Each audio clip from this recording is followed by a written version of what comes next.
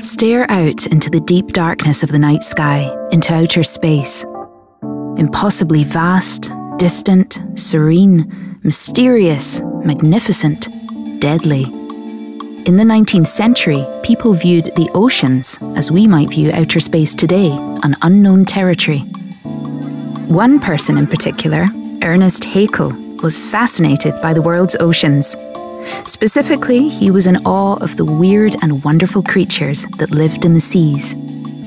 The marvellous shapes of octopus and other cephalopods, the undulations of jellyfish, the armoured carapace of crabs. But the creatures that held his attention more than any other were the many invisible to the naked eye single celled organisms. Haeckel would stare down through his microscope for hours, fascinated by the secret microcosm of life. And out of all the microorganisms, there were a group that he revered more than any other for their dazzling beauty the radiolarians, of which he saw and described nearly 4,000 species.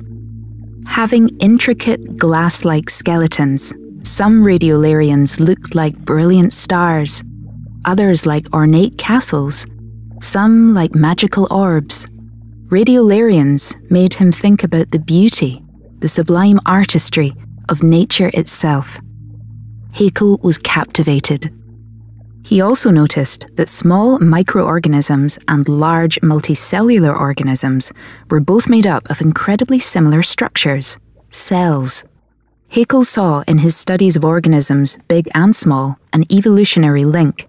In his mind was a vision of the universe as a fabulous unfolding artwork, swirling hot matter, chemicals of the oceans evolving first into simple yet intensely beautiful forms of single celled life and these laying the foundations on which more complex life could take shape in all its wild variety, from mushrooms to whales to sharks to seaweed to you. Haeckel felt the theory of evolution had the capacity to explain the entire history of life, and in Haeckel's mind, its future.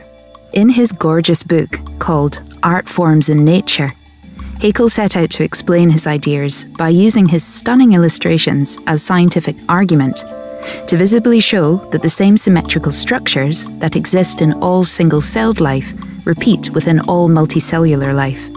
By the end of his life, he was considered one of the most influential scientists and artists of the day, his name synonymous with evolution across Europe. However, before studying radiolarians, Haeckel hadn't been sure where his life was going. As a young man, he was torn. He had seen the life of the artist and that of the scientist as totally different. Then he saw the beauty within nature, and he learnt that his art could be a fundamental part of informing his science.